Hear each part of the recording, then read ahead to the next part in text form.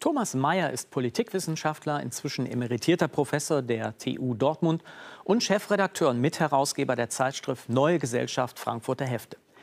Sein bei Surkamp erschienenes, gut zu lesendes, thesenreiches und in Knappheit und Form einfach brillantes Buch hat den Titel Die Unbelangbaren, wie politische Journalisten mitregieren.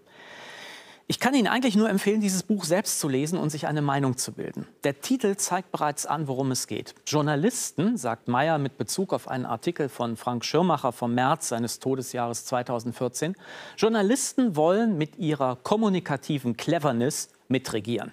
Sie ermächtigen sich selbst, im politischen Betrieb eine Rolle zu spielen, ohne je gewählt zu sein. Schlimmer noch, sie sind unbelangbar.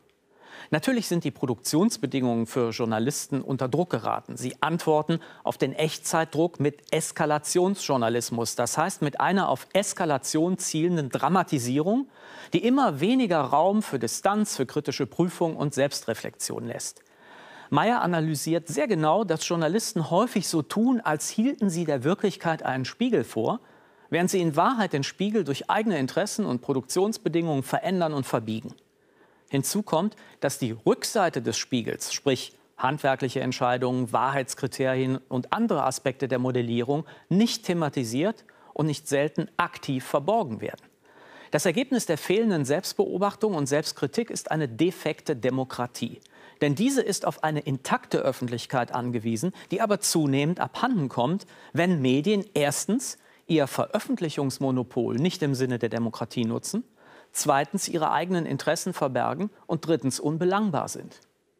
Die Kapitel in Meyers Buch sind kurz, die Thesen einerseits differenziert, andererseits knapp und deutlich. So untersucht er beispielsweise auf nicht einmal zehn Seiten die Logik der Massenmedien, die auf dem Medienmarkt vor allem mit den Kategorien Neu gegen Alt arbeitet. Sein Fazit, die Mediendemokratie basiert auf der guten Information aller Bürger aber große Verbreitung ausgerechnet verzerrt simplifizierte Bilder der Wirklichkeit. Und die werden dann mit der Wirklichkeit verwechselt. Die Unbelangbaren ist ein unbedingt lesenswertes Buch, dessen Analysen helfen könnten, nicht nur Politik und Medien besser zu verstehen, sondern auch einen Grundpfeiler unserer Demokratie zu stärken, die, ob man will oder nicht, vor allem eines geworden ist, eine Mediendemokratie.